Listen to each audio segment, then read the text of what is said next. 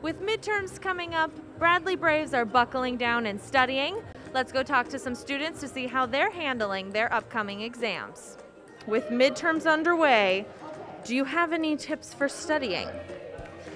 Um, oh gosh. Uh, first of all, I would. Oh, can I hold it? Uh, the best thing I could say is get on it right away. When I study, like having like music on in the background, usually like calming music helps me. I would say like studying in groups.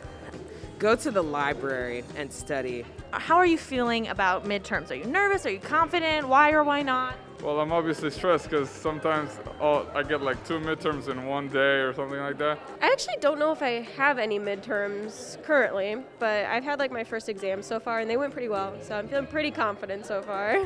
My teachers are very helpful, so I can always go to them for help for anything, but I feel pretty confident. All right, and what do you do to relieve stress when you're like studying and you're doing busy? I know you're at late night BU, so that's something fun. Is there anything else fun that you do?